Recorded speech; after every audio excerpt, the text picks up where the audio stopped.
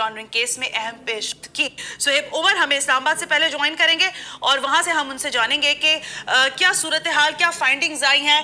London یہ پیسہ کس ایئر میں جاتا رہا۔ ایف آئی اے کے پاس ابھی جو تفصیلات آئی ہیں، خدمت خلق فاؤنڈیشن کے کے ایف کے حوالے سے وہ کیا ہیں؟ Suhaib can you hear me Yes. Okay no say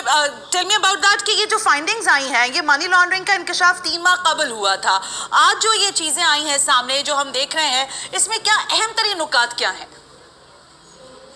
جی بالکل، آپ کو میں بتاتا چلوں کہ یہ جو رحمت اللہ ڈھومکی ہے ان کا یہ کاؤنٹر ٹیررزم ونگ ہے ایف آئی اے کا، انہوں نے انسداد دہشت گردی ونگ انہوں نے اس، جو منی لانڈرنگ کیس ہے، اس کی تفتیش کی تھی ایڈیشنل ڈائریکٹر ہیں۔ ان کا یہ، انہوں نے جو تفتیش میں بڑے اہم جو نکات ہیں، انہوں نے یہ دیکھے، جو انکشاف ہوا، وہ خدمت خل فاؤنڈیشن کا جو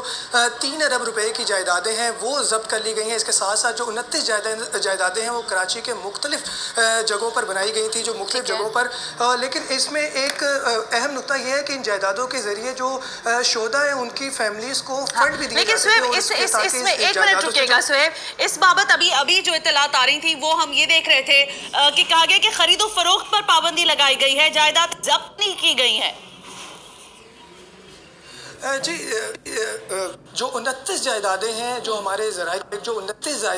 جائیدادیں ہیں ان کو ضبط کیا گیا ہے لیکن جو اچھا۔ تین ارب روپے کی جائیدادیں ہیں اچھا۔ اس میں تفتیش جاری ہے لیکن جو انتیس جائیدادیں ہیں وہ ایف آئی اے نے ضبط کر لی ہے لیکن سہیب جن لوگوں کے نام سامنے آئے ہیں جس میں سہیل منصور ہے بابر خان غوری صاحب ہے وہ تو یہاں جی۔ پر ہے نہیں بابر غوری سہیل منصور صاحب تو ہیں لیکن باقی لوگوں کا کیا کس طرح سے ان کی گرفتاری ہو سکتی ہے جن کی فائنڈنگز میں نام آئے ہیں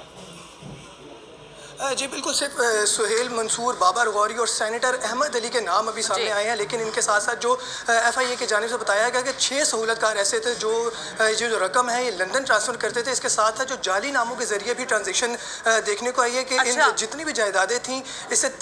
ان سے جتنی بھی جائیدادیں تھیں ان سے جو رقم ہے وہ جعلی ناموں کے ذریعے بھی لندن ٹرانسفر کی جاتی رہی لیکن اس میں جو نام سامنے آئے ہیں وہ بابر غوری سہیل منصور اور سینیٹر احمد علی کے نام بھی شامل ہیں اس کے ساتھ جائدادیں جائیدادیں ہیں، لیکن ظاہر ہے کراچی میں یہ انتیس جائیدادیں موجود ہیں۔ بیورو چیف کراچی سے